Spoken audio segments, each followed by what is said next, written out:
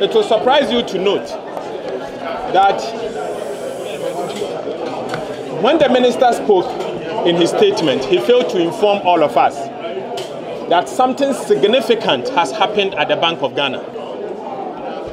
I just had a copy of the document itself, only to realize that between January 2021, uh, 2022, January 2022, and June 2022, the minister responsible for finance and the government has gone to the Bank of Ghana and they have encouraged the Bank of Ghana to print money worth 22 billion Ghana cedis. They have printed 22 billion Ghana cedis fresh money without the knowledge of Parliament. Colleagues, I am saddened. No wonder inflation is galloping. No wonder that our reserves position is dwindling. Because when you create a new money out of the thin air, what happens is that inflation will go up. And obviously, and obviously, again, because it's a new money, you will end up losing your reserves because there will be new consumption.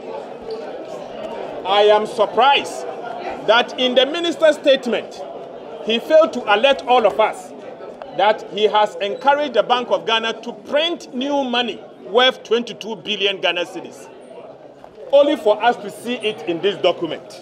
And you can see it in the mid-year review document, page 97, appendix 2A. And the Bank of Ghana, they have printed 22 billion and 48 million Ghana cedis.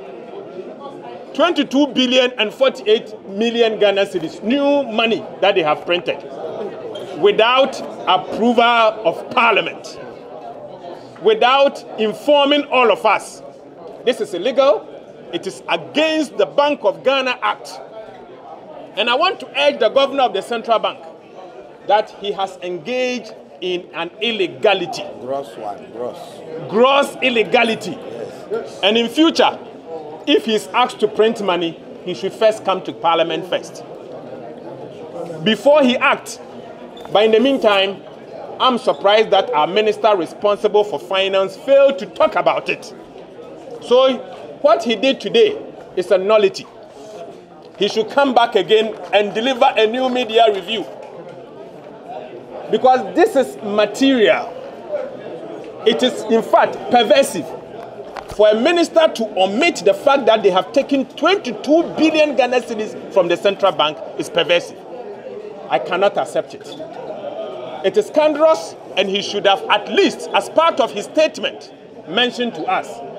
Apparently, it is hidden in the appendix, appendix 3A. So if you do not have an eye or you don't have a spectacle like I have, then it means you won't see it.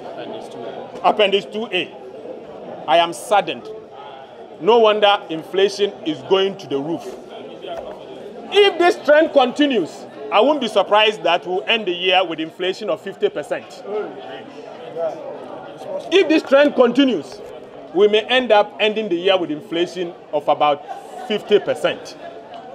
And we'll end up depleting the entire foreign reserves of our country to the extent that a time will come we may not end up getting money to take care of our major imports, such as petroleum products and medicine. Let me end by saying that it is not only wrong, but it shows that this government is grossly incompetent. That at the time that investor community has lost hope in your economy, you don't do monetary financing. You don't do monetary financing.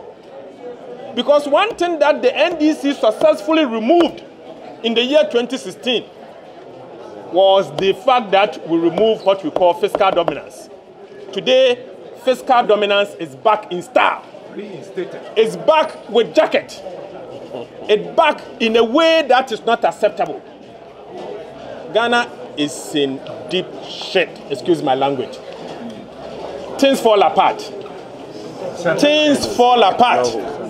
The center cannot hold. In fact, Ajigong.